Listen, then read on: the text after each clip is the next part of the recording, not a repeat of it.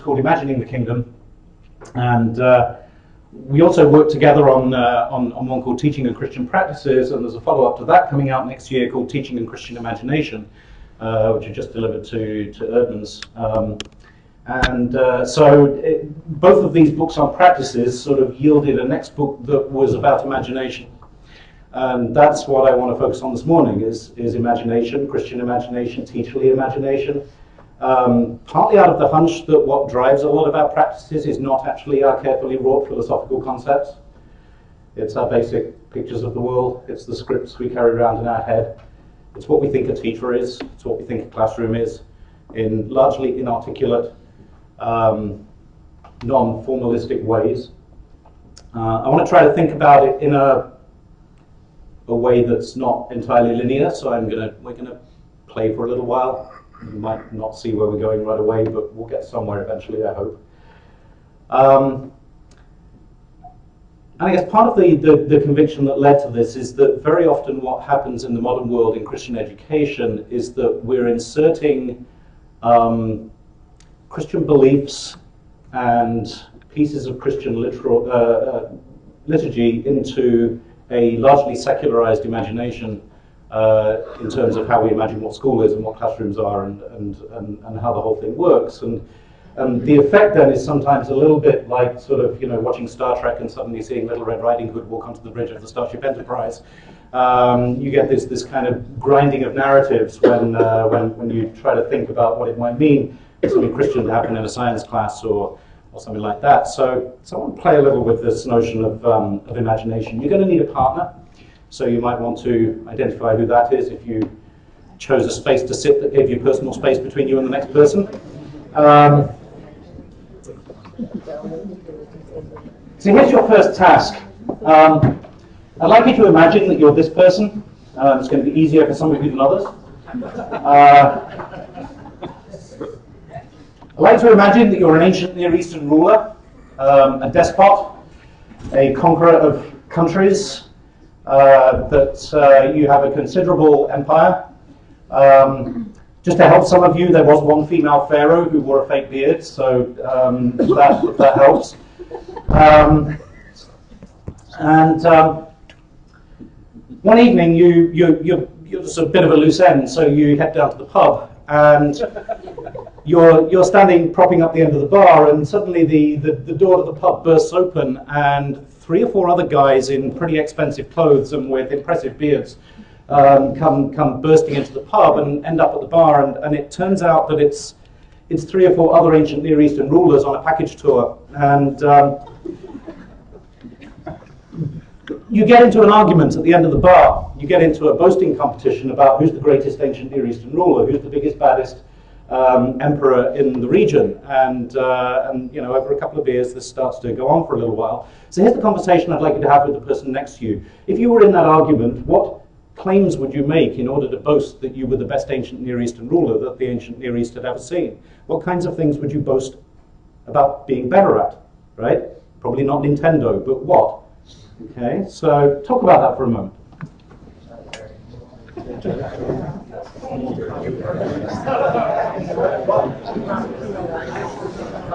you.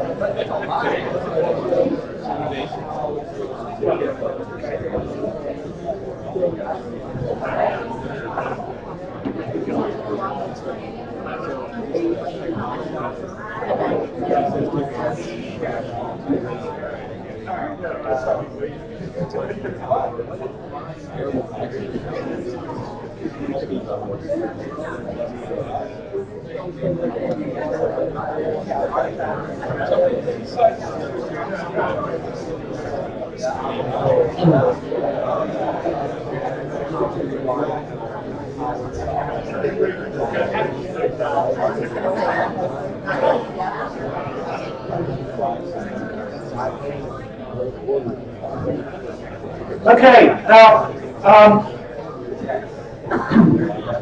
let me just take a show of hands. Um, how many of you? How many of you mentioned the size of your army? How many soldiers, chariots, horses, uh, military things. Good, yeah, you would probably boast about that if you're an ancient Near Eastern ruler. How many of you boasted about building projects, right? Palaces, pyramids, um, city walls, etc. Yeah, that would be on the list too. How many boasted about how many women you control, right? Harem wives, concubines, that would be on your list, right? Um, how about the amount of wealth that you have? Gold, silver, precious artifacts from other countries. Yeah. Um, wise men in your in your palace, right? Libraries, scrolls, that kind of thing. Yeah, you're educators. You can think of that. um, it was hard pretending to be a man. Okay, Chris, for next year, find a speaker who can talk to them and sort of say, like, books before armies. uh, uh, how many of you um, thought about um, entertainers at your court? Uh, that was a long shot, but might have been in there. Uh, how about hunting? Prowess in the hunt, ability to kill lions. Anybody get that? No? We're starting to scrape the barrel. Um, slaves, person power. Yeah? Okay. Uh, how many people mentioned gardening? Yes. Well done. Yeah. Gardening would have been pretty high on your list if you were an ancient Near Eastern ruler. Um, and it's not one that occurs to us today as being part of our imagination of what makes someone regal and powerful. You know, imagine you're making a you know a biopic about Ashurbanipal II and you, you cast Sylvester Stallone in the uh, in the title role, um, and uh, you, are thinking about how to start off the movie, and you need a scene that's just going to set character and get us into the notion that we're watching a, a movie about a powerful dictator, and so you, you show Sly kneeling down in the garden with his dibbler, getting his seedlings in a straight row. You probably wouldn't do that. Um, so this is not really a big part of our imagination, but and yet fortunately we actually have a transcript of the pub conversation. Um, at the end of the bar. It was recorded in the Bible. Um, and it goes like this Ecclesiastes chapter 2. This is Solomon boasting about being the biggest, baddest ancient Near Eastern ruler that we've seen. I undertook great projects. I built houses for myself and planted vineyards. I made gardens and parks and planted all kinds of fruit trees in them. I made reservoirs to water groves of flourishing trees. I bought male and female slaves and had other slaves who were born in my house. I also owned more herds and flocks than anyone in Jerusalem before me. I amassed silver and gold for myself and the treasure of kings and provinces. I acquired men and women singers and a harem as well, the delights of the heart of man. I became greater by far than anyone in Jerusalem before me. Um, I became greater by far than anyone in Jerusalem before me, says Solomon at the end of the bar. Um, so this is, this is a boast speech, right? I was, I'm the best king we've ever had. I'm working my way back up right? We've got we've got the harem, we've got the, the wives and concubines, right? We've got the, the men and women singers, the, the conquests, the kings and provinces, um, implying the army, uh, the silver and gold, we've got herds and flocks, we've got the slaves. But the first third of the passage is about how good he was at gardening. Um, which again might not have been where we would have started. So why? Turn to the person next to you and tell them this for 30 seconds. Why would gardening be a big deal if you're a king in the ancient Near East? Why would that make you rich and powerful if you could do gardening? Because it wouldn't right now. Talk about that for a second.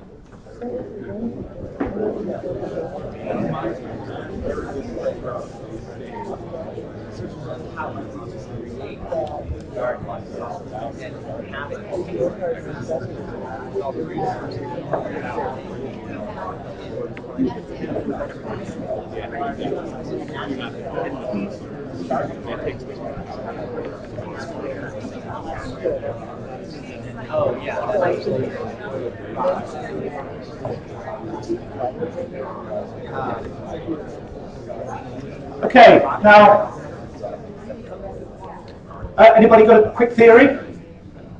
Yeah? Uh, in Babylon, Daniel was looked at as crazy and all the other sons of Judah because they didn't want to eat at the king's table. So I imagine that you could attract people in by what feast you could offer them, by appealing to their senses. Right, we probably could, and that may be part of it, but the part of the point of the gardening here is that it's non-utilitarian, right? It's not just for the food. Um, any other factors going on in here? Yeah? Well, God's ruled over all the elements, but yet you can guard them and you're ruling over them in a sense. Right? Yeah? Demonstrates mastery over nature in a way because it wasn't, a lot of where they lived weren't natural habitats for beautiful gardens. Right, mastery over nature. What particular scarce resource does it demonstrate mastery over? Water. Water, right? Um, if you're looking here, you've got the reservoirs to water globes of flourishing trees. Got to remember when you read these passages, now I can't guarantee that this took place at the pub, that's a midrash. Um, but, um, but I do know that it took place in a water scarce environment um, where it doesn't rain as much as it does in Michigan and uh, where you can't rely, and where there isn't a plumbing system to sort of take over when it's not raining.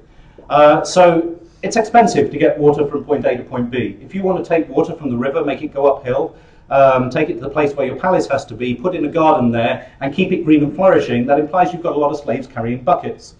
And that makes you powerful and wealthy, right? And if you're doing that not to keep us from starving, but just because you like to have a garden outside your palace, that makes you wealthy. right? Um, so this is this is partly a status thing. So you know the water piece of this is pretty important. Um, of course, um, one of the wonders of the ancient world was the Hanging Gardens of Babylon. Um, this is an actual photograph of the Hanging Gardens of Babylon, and not at all a screen capture from a video game. But um, again, if you um, if you're in a water scarce environment and you're doing architecture that's based on baked bricks, then getting water to the top of a structure and getting it to stay there is actually a pretty big engineering feat. Uh, the Hanging Gardens of Babylon are pretty wonderful, right? And if you want to do that just because you've got a wife who pines to the mountains, um, then that also makes you pretty powerful and wealthy. Um, oh, power source. Sorry about that.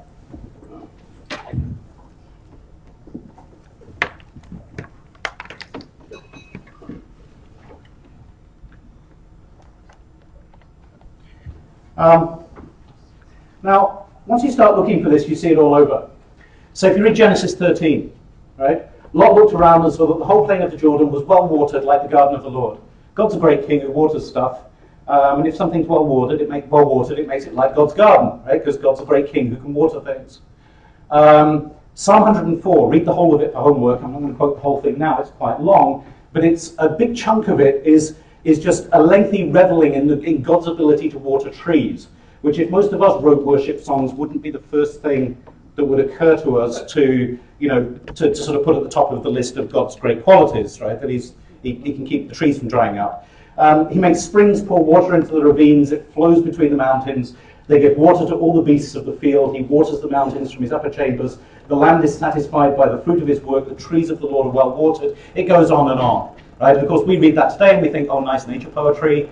Um, I'm standing near something that's making me click, but uh, is this good? um,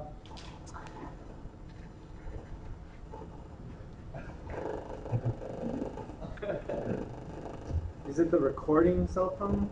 Is there is there a cell phone?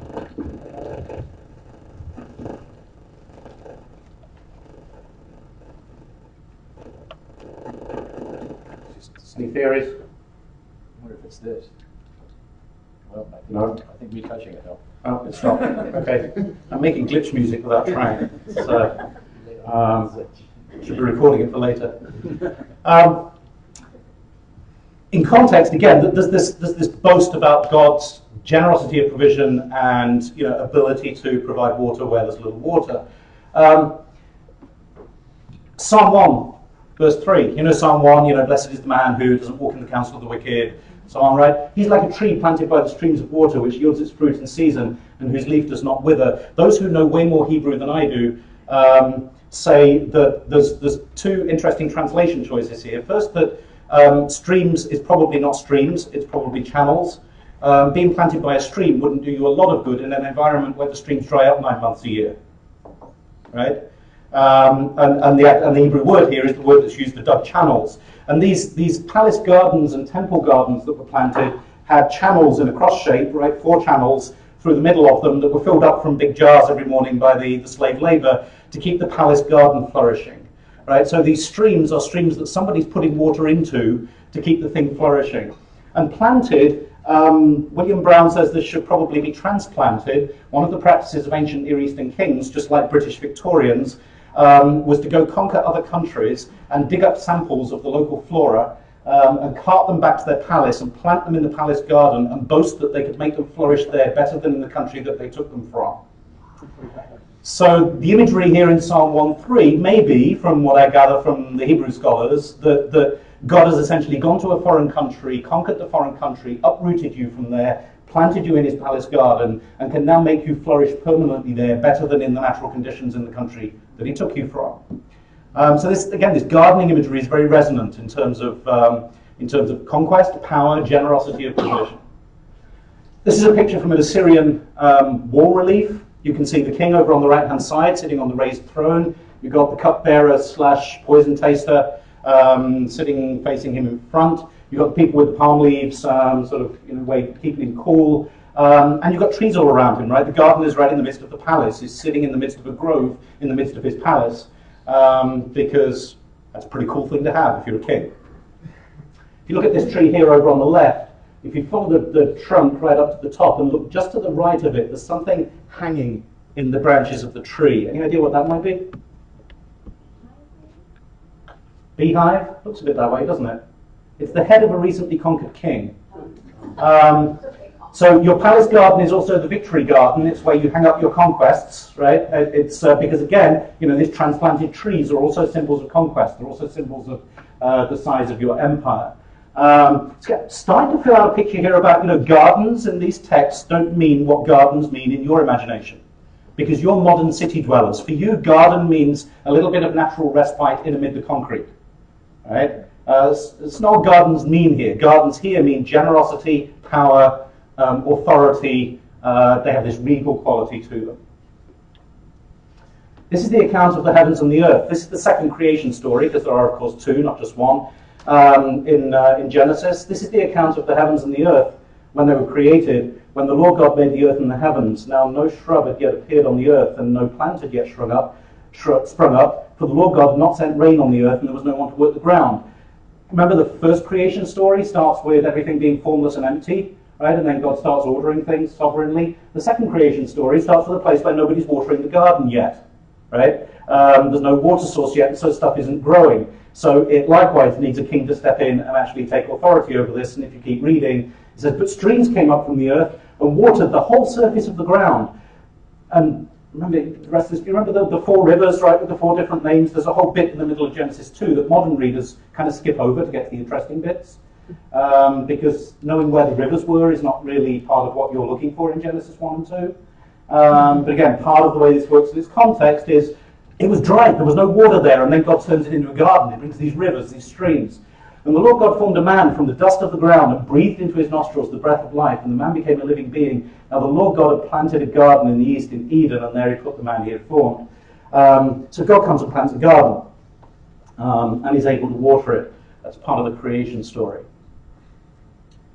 Now, interesting things start happening historically with this, um, because of course, a little bit later we get the Lord God took the man and put him in the Garden of Eden to, walk it, to work it and take care of it. Genesis 2.15. Now, Garden of Eden, let's pause over that for a second. Um, pretty much all of your modern translations treat Eden as a proper noun, right, as, as a name. And, and that's fine, right? I mean, you, you, but it's also a Hebrew word that means something. And so if you read older Latin translations, it's not translated as a proper noun, it's translated um, as a regular noun. And so the, uh, the Latin version of this is the Paradiso Voluptatis.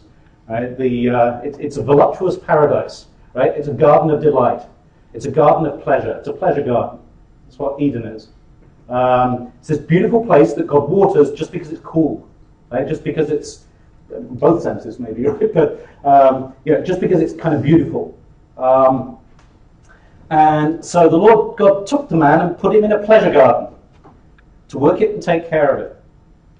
Um, now remember, this is an aside here, but remember Genesis 1 start, sort of culminates in human beings being made in the image of God, which if you read Richard Middleton on the image of God, the liberating image is best book I've read on the image of God um, things. Um, the image of God is language which in the ancient Near East is reserved for kings.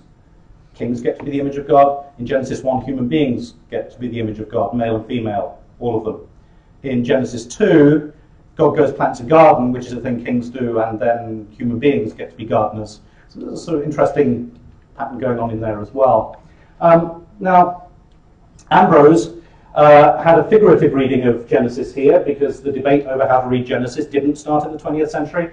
And uh, he had this whole allegorical reading where he says by paradise is meant the soul, right, and the fruits on the trees are virtues, and the you know the birds are temptations, and and, and so on. There's a whole sort of allegorical reading of, of Genesis, which is about the formation of the soul, where the garden is the soul that, that is being tended. Um, Augustine, of course, went for a bit more of a literal reading in his um, uh, you know, literal, trans- literal reading of Genesis, uh, ad, ad Litteram. And um, Augustine translates it this way because he couldn't read Hebrew. Um, he translates it, the Lord God took the man and put him in the Garden of Eden to cultivate him and guard him.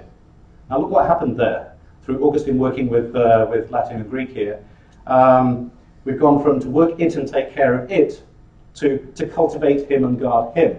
Right? So through that translation history in the early church, the garden becomes the person who is being cultivated by God. In other words, we become the garden. Right? You're this thing of beauty that God created just for fun. Um, because and, and, and then can generously provision, right? Can water and, and so on. There's that imagery going on in there. And so in the early church already, gardens become learning images, right? Because you're something that gets cultivated. You're something that gets cared for attended, and that needs to grow. And so gardens become an image and gardening becomes an image for the formation of the soul, for human beings being educated already in the early church. When we get to the prophets, and of course, you know, had we three hours, we'd need to go through a bunch of wisdom literature here as well, but uh, it's interesting to switch to the prophets here. You start to see some different things going on. Um, remember in Ecclesiastes, we, we saw, you know, gardens as just images of power and wealth and dominion. Um, in Genesis and the Psalms, we started to see gardens as these images of generosity and refreshment and abundance and beauty as well. In the prophets, you start getting another note coming in. Um, let's look at Joel. Like dawn spreading across the mountains, a large and mighty army comes, such as never was of old, nor ever will be in ages to come. Before them fire devours, behind them flame blazes, before them the land is like the Garden of Eden, behind them a desolate wilderness. In the prophets, fairly consistently, the Garden of Eden becomes a metaphor for a flourishing community that is able to live at peace. Um, before the foreign army comes and burns everything down, it's like a garden of delight. You get up in the morning, you go to work, nobody kills you, um, right? Your house is still there when you come home. There's food on the table. Uh, your children grow up, right? It's like a garden of delight. After the army come, it's like a desolate wilderness. Start noticing this pair, right? Garden of delight, desolate wilderness. It's an inversion of creation. Creation, we went from the desolate space where there was nobody there to water it yet, and we created a garden of delight. Here we're going from the garden of delight back to a desolate wilderness where nobody can live because everything's burned down and nothing's growing there.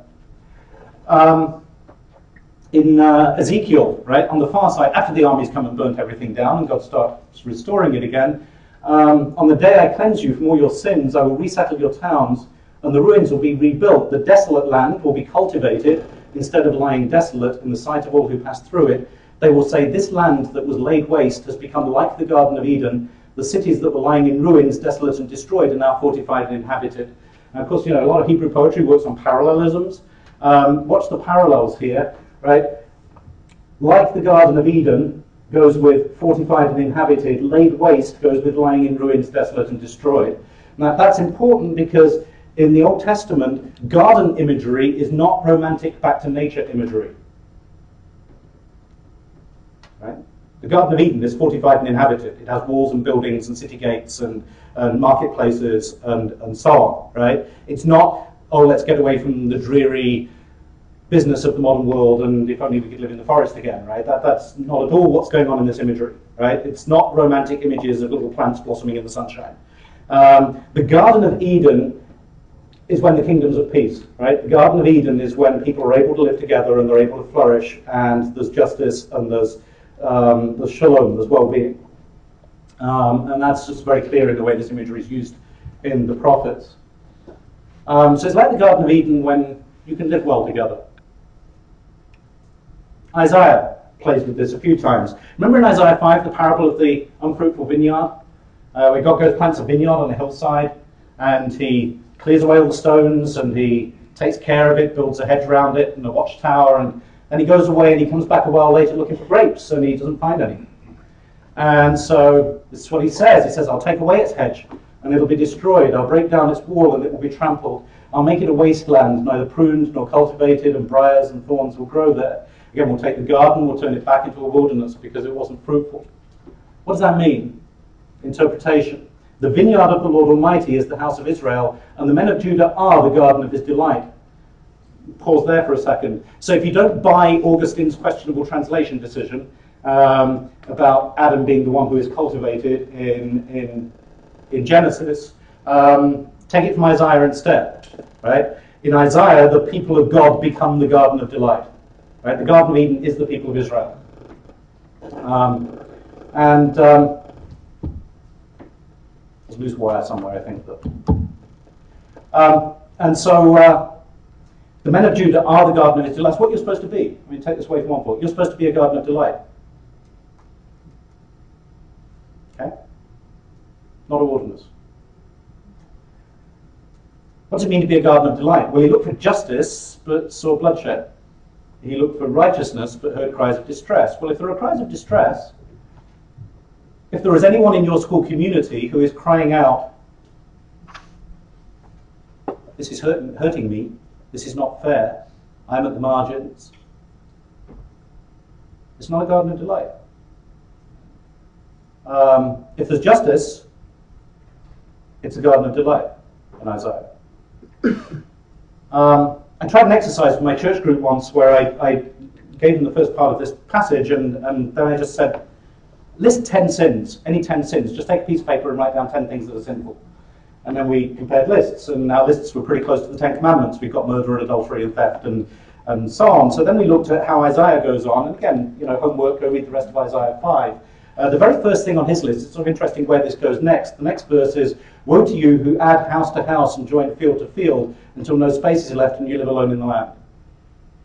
Um, was the first example is about land policy, which wasn't on any of our lists. Right? The, the, notion that certain people are buying up more and more land until there's no place for the poor to subsistence farm. Um, so again, there's a, there's a clear set of concerns resonating through this that you see again a bit later in Isaiah. Now, uh, here's a nice passage. The Lord will guide you always. He will satisfy your needs in a sun-scorched land and will strengthen your frame. You will be like a well-watered garden, like a spring whose waters never fail. 30 seconds. Turn to the person next to you and tell them just the associations you have with that passage, the first things it makes you think of. Go for it.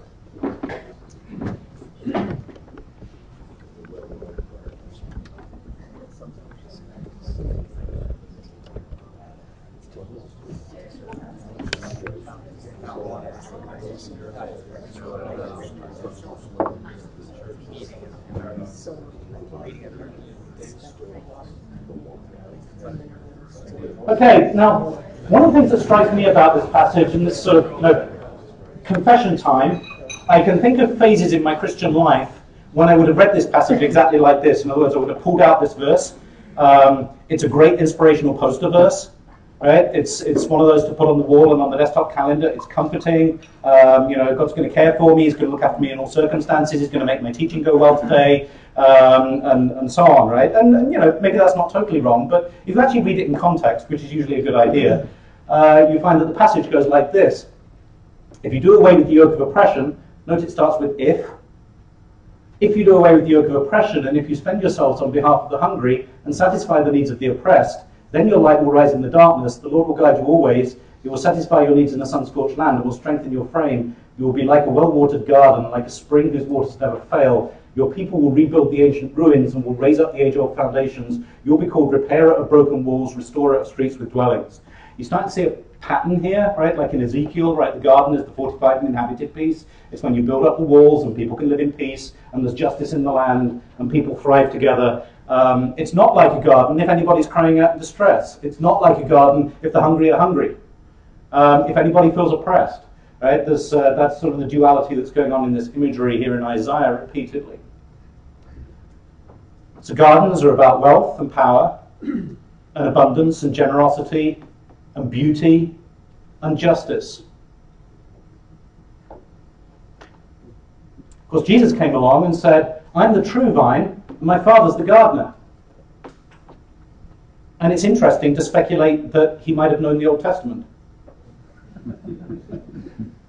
he cuts off every branch in me that bears no fruit.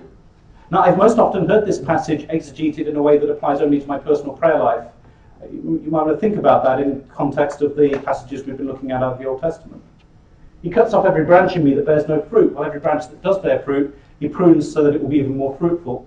You're already clean because of the word I've spoken to you. Remain in me as I also remain in you. No branch can bear fruit by itself. It must remain in the vine. Neither can you bear fruit unless you remain in me. This is remarkably similar to Isaiah 5, where a vineyard gets planted and God comes looking for fruit. Um, and if he doesn't find fruit, then it gets taken down, right? And, and we've just seen Isaiah's concerns around there. Was Jesus aware of what Isaiah was talking about when he said this? And is this maybe about a little more than whether I pray every morning? Um, okay, I said we'd take an indirect path, uh, but let's take a left turn now.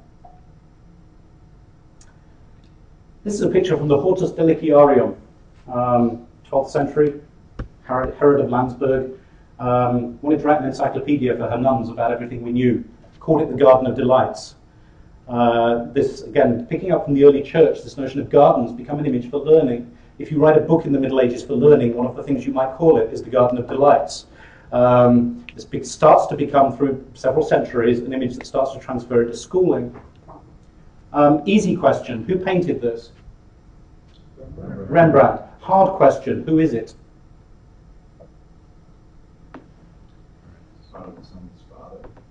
No? The painting's called An Old Man, but I think it was about three or four years ago, an art historian um, finally arrived at a conclusion that seems to have been accepted about who was the subject of the painting. Um, we think it's John Amos Comenius. Um, how many people know John Amos Comenius? Yeah, that's really sad. Um, Comenius, 17th century, 1592 to 16, uh, 1670. Um, Moravian, uh, he will be Czech now. Uh, if you want to look at just in terms of influence and um, impact and systemic thought, the three most important thinkers in the history of Western education are probably Plato, Dewey, and Comenius. Um, how many people have heard of Plato? How many people have heard of Dewey? How many people have heard of Comenius? Yeah, uh, which is kind of weird, right? But uh, especially as he was the only Christian one of those three. Um, he was a bishop. Uh, he was a church reformer. He actually had a finger in everything. Mean, if I had time, I'll tell you his bio biography. It's pretty colourful. He lived through the Thirty Years' War. He lost his family twice in battles and plagues. Um, his house burned down with everything he owned at the age of 63, so he had to sat, sit down and start rewriting all of his manuscripts. He still managed to reform the school systems of several countries, write 150 books, uh, was asked to be the president of Harvard, um, translated the Bible, uh, tried to hold peace conferences between the different Protestant groups to try to get the Reformation more unified. I mean, he was just an interesting guy. He was all over the place. Um, one of the things he did was to write this book, The Great Didactic, setting forth the whole art of teaching all things to all men, or a certain inducement to found such schools in the parishes, towns, and villages of every Christian kingdom, that the entire youth of both sexes, none being excepted, shall quickly, pleasantly, and thoroughly become learned in the sciences, pure in morals, trained to piety, and in this manner instructed in all things necessary for the present and for the future life in which, with respect to everything that is suggested, its fundamental principles are set forth uh, from the essential nature of the matter, its truth is proved by examples from the several mechanical arts, its order is clearly set forth in years, months, days, and hours, and finally an easy and sure method is shown by which it can be pleasantly brought into existence. People who title books have no stamina these days. it's actually sometimes hard doing research on Comenius because when you send in interlibrary loan orders. They don't give you enough characters in the in the in the field to put in the title of his manuscript. Um, this was a pretty influential book. I mean, this this this book is why you have grade levels in school, for instance. Um, it's uh, and a bunch of other things. I mean, it's, it's a, a, major impact on Western education. Um, and of course, the title gives you a pretty good idea of what it's trying to do. Now, imagine that you're, next thing to imagine, imagine you're sitting down to write a book which you don't know this yet, but this probably is your ambition if you're Comenius, because he, he knew that he was trying to change the world. You're trying to write the book that will completely transform the way education is done in the Western world, right? Because schools just suck and you want them to be different. Um, turn to the person next to you, 30 seconds. What's the first thing you would go to on the first page? How would you open? What would be your first thought? Talk about that for a moment.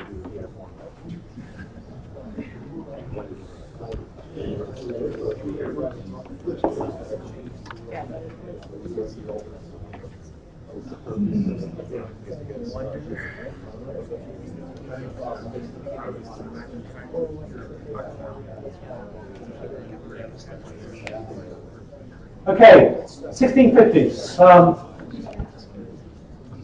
here's the beginning. God, having created man out of dust, placed him in a paradise of desire. Where's he have his Bible open right now? Genesis 2, right? Uh, placed him in a paradise of desire which he had planted in the east, not only that man might tend it and care for it, Genesis 2.15, but also that he might be a garden of delight for his God. Where is he now? Yeah, maybe post-Augustinian Genesis 2, maybe Isaiah, right? Isaiah 5 with the men of Judah are the garden of delight. Um, but also that he might be a garden of delight for his God. In paradise, each tree was delightful to look at and more pleasant to enjoy than those which grew throughout the earth. Paradise contained the tree of the knowledge of good and evil. Man had the intellect to distinguish and the will to choose between the good and the bad. In paradise was the tree of life. In man was the tree of immortality itself. That is to say, the wisdom of God, which had planted its eternal roots in man. The wisdom literature has a lot of tree imagery in it, which we skipped. And so each man is in truth a garden of delights for his God. The church too is often in Holy Writ likened to a paradise, to a garden, to a vineyard of God. Isaiah 5, John 15. Uh, but alas for our misfortune, we have at the same time lost the paradise of bodily delight in which we were, Genesis, and that of spiritual delight which we were ourselves, Augustine, Isaiah. We've been cast out into the deserts of the earth and have ourselves become wild and horrible wildernesses. Is the problem, says Comenius. We were called to be gardens of delight. Our schools should be gardens of delight. Our students should be gardens of delight. But we're not. We're wildernesses, desolate, uncultivated. He translated the Bible. He was pretty familiar with all these passages, and part of what's going on here is he's he's got an imagination in which all these biblical images images are swimming around, right? Um, and uh, when he starts writing about schools, immediately he starts writing about gardens, and that continues. He says, We need new schools in imitation of the school of paradise, where God revealed the whole choir of his creatures for man to behold. He says, Garden of delight, where God just showed us stuff. God just put things there that were beautiful, that were, that were amazing to look at, that were juicy, that were, right? School should be like that. Is school like that? Any more than twice a year? It would argue that early man was unspoiled. Sorry, say again. You, you could argue that Adam was unspoiled. Right. Again, we're not gardens of delight, we're wildernesses, right? Um, but Comenius says, right, we, this means things have got to change, right? We've, we've, got to, we've got to work for the redemption of schools, and that means, doesn't mean it's going to become a garden of delight overnight, you're in a fallen, fallen world, right? But it does mean that God's desire for this is it becomes more like a garden of delight, less like a wilderness. So he starts off thinking about just sort of beauty. He wanted all schools to have a literal garden in them and for there to be time scheduled in the day for especially young children to spend time quietly in the garden learning how to be at peace with nature. Was, was part of one of his prescriptions. Um, he, he, uh, he believed that, that you should form students in hard work, but he also said you shouldn't overburden them because they will not be prompt to answer the call of justice if they're exhausted and tired all the time. we need to think about that. He wrote a textbook in the, uh, in the mid 17th century called the Orbis Sensualium Pictus, the world of sensory things in pictures. It was used for 200 years. None of your textbooks are going to last that long. It was the first textbook to have pictures. He commissioned 150 woodcuts. Um, it included exciting things like tornadoes and battles at sea um, and so on. Um, it begins with the attributes of God in the first chapter. It works through all the different parts of creation, all the human callings, um, sort of different jobs. There's a, there's a chapter on children's toys, uh, biology, the different parts of the body, comparative religion. There are chapters on Judaism, Mohammedanism, um, paganism, um, and um, uh, into ethics. There's a whole section, there's a chapter on each of the virtues, and it finishes with a chapter on the Day of Judgment. Uh, and uh, this was used in Europe at least for 200 years. It was last used in the late 1800s as a school textbook. Uh, it starts with learning the alphabet by imitating animal noises. It's kind of fun, especially in comparison with most other 17th century textbooks. Uh, should be a garden of delight, right? He wanted stuff that would delight children, uh, but that would also introduce them to this, this vision of all God's creatures laid out, right? I mean, everything, not just the utilitarian things, not just the useful bits, not just the data, right? But, but the whole big panoply. Um, he wanted that to be the framing narrative. In one place in the Great Didactic, he says, The purpose of life is that we may serve God, his creatures, and ourselves, and that we may enjoy the pleasure to be derived from God, from his creatures, and from ourselves. Digest that for a moment. That's what you're here for. To serve God, his creatures, and ourselves, and to enjoy the pleasure to be derived from God, from his creatures, and from ourselves. Is a 17th century bishop allowed to say that, I wonder? Um, the purpose of God, the purpose of life is service and pleasure, right? God, creatures, and selves. Let's let him unpack that just a little bit. I'm going to because of your science theme, I'm going to focus in on the middle one. Uh, but let's look at the first and uh, the first and third for a moment. Um, it took me a while to figure out where he got this from because he doesn't always put Bible references in parentheses. But he's actually riffing on Proverbs 8 here. I, wisdom, dwell together with prudence. I possess knowledge and discretion. I was there when he set the heavens in place, when he marked out the horizon on the face of the deep. Then I was constantly at his side. I was filled with delight day after day, rejoicing always in his presence, pleasure in God, rejoicing in his whole world, pleasure in creatures, and delighting in humankind, pleasure in ourselves. Right? So Comenius is really just exegeting Proverbs 8 here. He's saying if wisdom, and if that wisdom which Christian commentators have taken to be Christ himself, present at the creation, right, you know, true wisdom, right, God's wisdom, what wisdom does is rejoices in God, takes pleasure in God, takes pleasure in the whole of creation, and takes pleasure in human beings. So whenever you look out of your window and you rejoice at the color of the trees, you're doing something wise. Whenever you enjoy the company of your friends, you're doing something wise. Um, it's like what was saying yesterday about, you know, the Spirit of God is not just the sort of miracles and the religious bits, right? It's, it's, it's, this is what wisdom does. If you want your education to seek wisdom, does your education help students to find pleasure in God, to find pleasure in creation, and to find pleasure in other people? Or does it help them compete with other people, make strategic use of creation, and refer to God on weekends?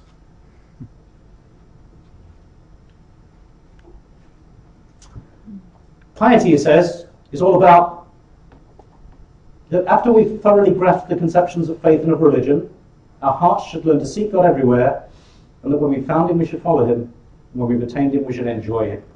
One of the refreshing things about Comenius is that when he talks about faith, he can't talk about faith for very long without talking about joy.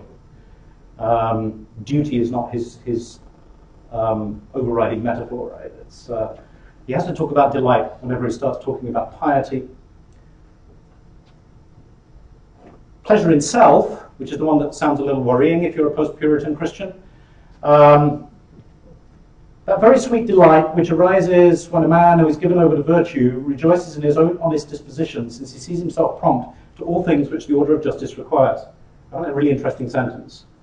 Um, I, I, like the phrasing, this sort of, um, you, you're given over to virtue, right? You're pursuing virtue, and you see yourself doing something that fits the order of justice. I like his choice of verb there. It makes me think of moments when, um, as a father, I suddenly realized that I just managed to do something that genuinely blessed my children, right? It's usually not deeply planned.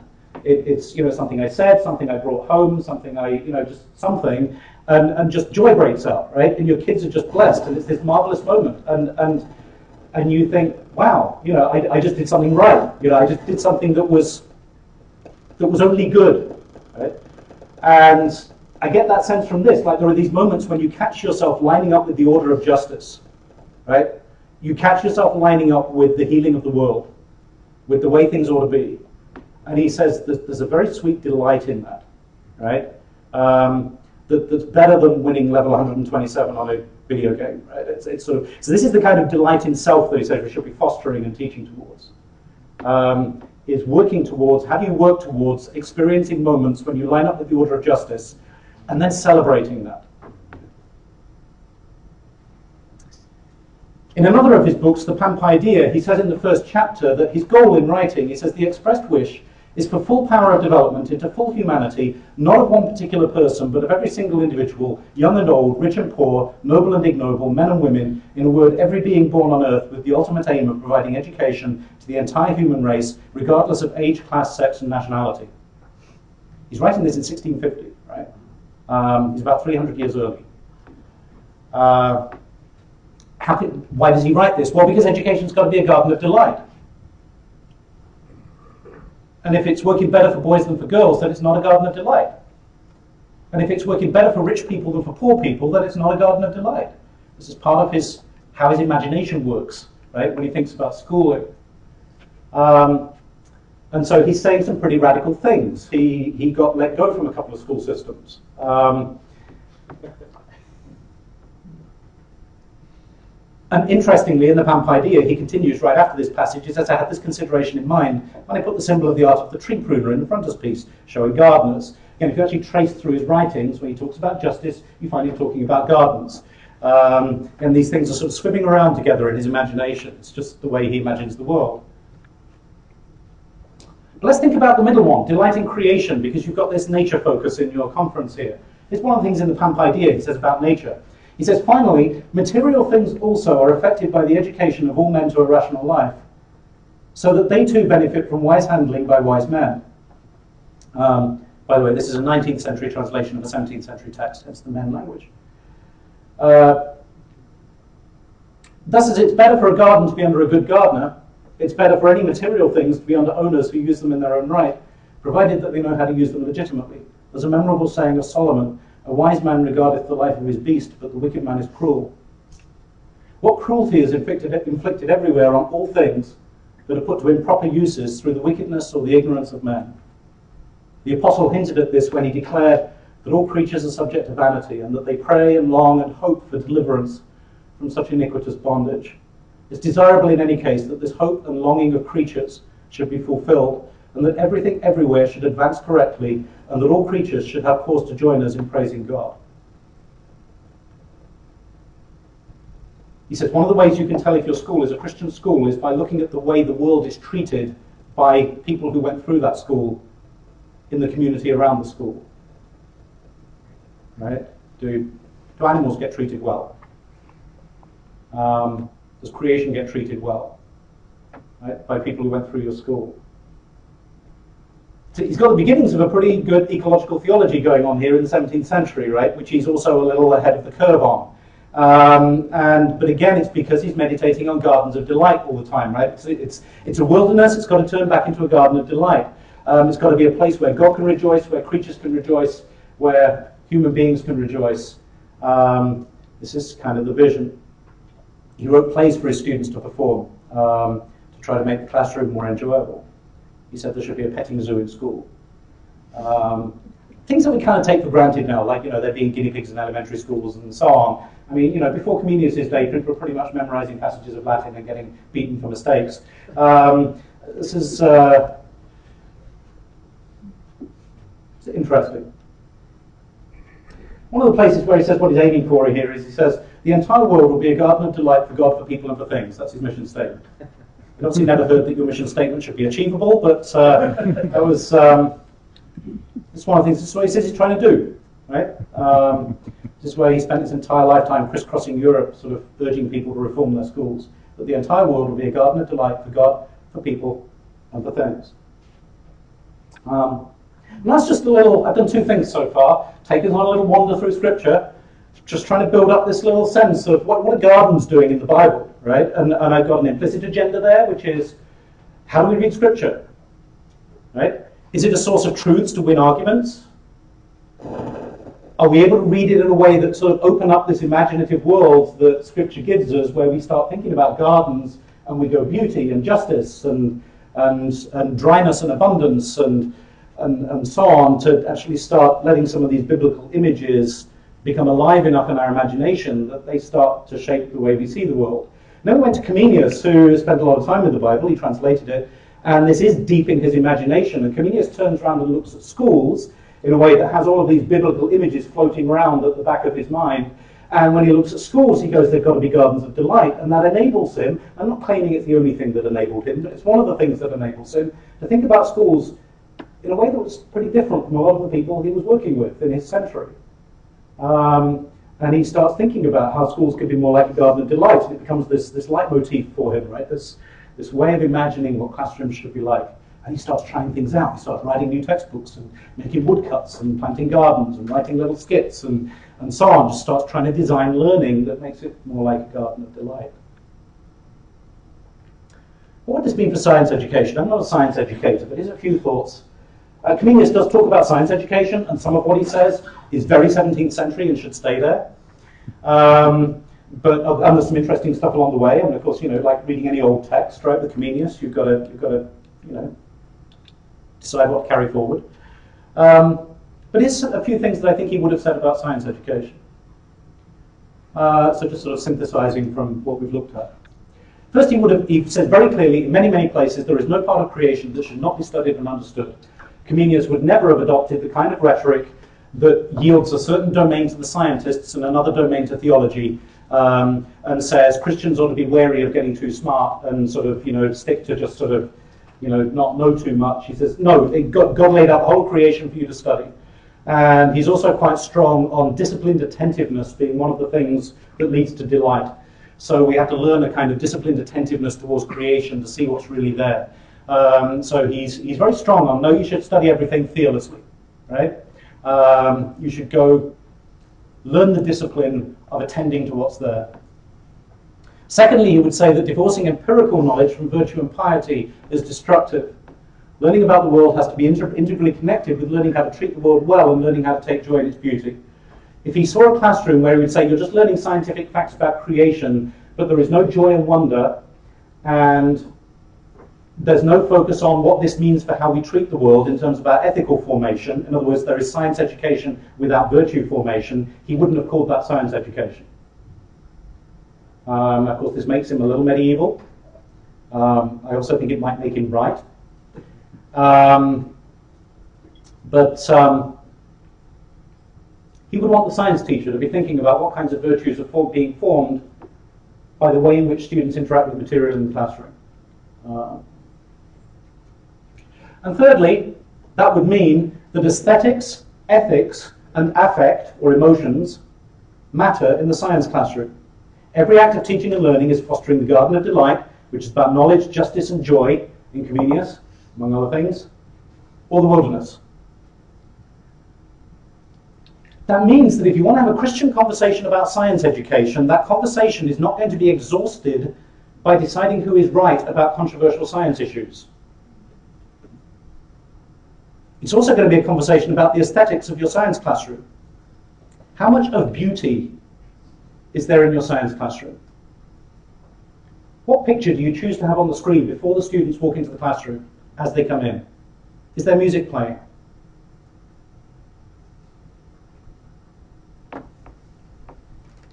What would it take to organize a science classroom so that students experience something of the wonder of the world, not just how to manipulate it effectively in order to report back? How would you integrate that into science education and still keep it science education? Because you've got to think about the aesthetics of the science classroom. You've got to think about the ethics of the science classroom. Do students learn in the science curriculum about how science funding works and who gets money and who doesn't and why we research some things more than others? Like diseases that affect Western white people more than diseases that affect African people, for instance. Um, is that part of science education? Learning how science works? Um, what about a PhD friend of mine who was a research physicist figured out halfway through his PhD that his results had weapons applications, and he was pacifist. He spent half a year redesigning his research work so that it would fall outside the Ministry of Defense specifications. Those are the kind of decisions people have to make who do scientific research. Um, again, other people might make other decisions, but that's part of how science works. What are the virtues involved when you publish your work early because there's $10 billion at stake? Before you're really sure about it. Um, is that part of science education?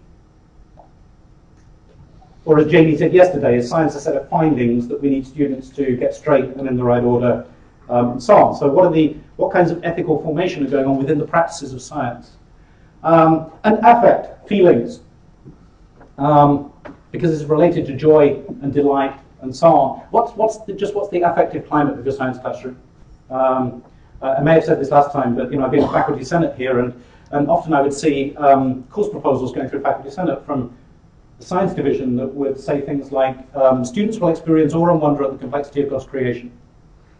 And I often put my hand up and say, no, they won't. Why would they? I mean, I've sat through lots of science classes where I didn't experience any awe and wonder at the complexity of God's creation. I experienced boredom, frustration, sense of competitiveness, confusion, a strong desire to be elsewhere, um, depression. Um, I mean, those are pretty much my memories of science class. That's why I dropped all my sciences when I was 14 and took languages instead.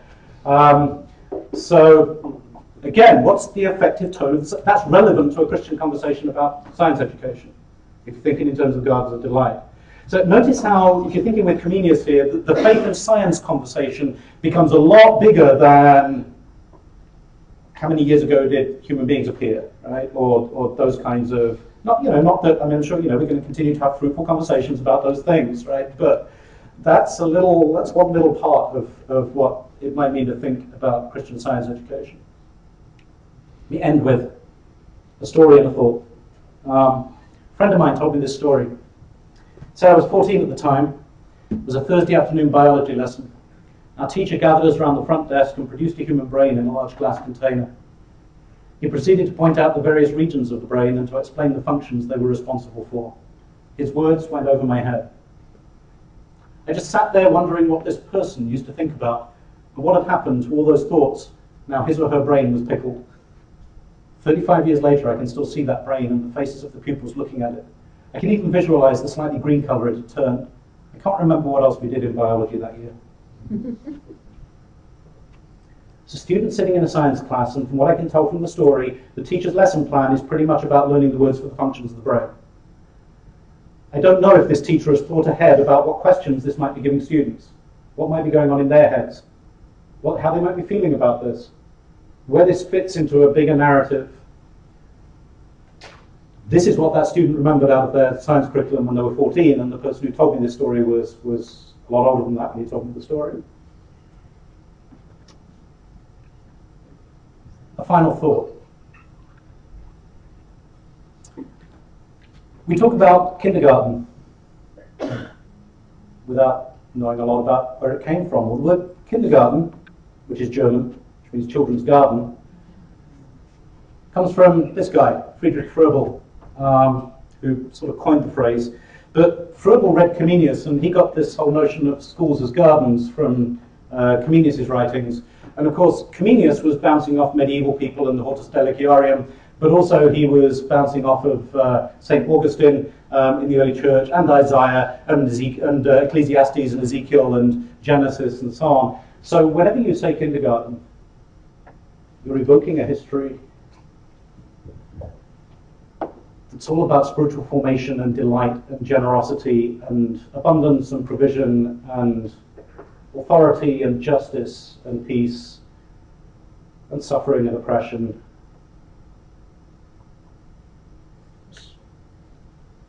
be annoying to people the next time you hear somebody say kindergarten. Um, it's my sort of final mandate here. Do you know what you're saying there? Thank you for listening.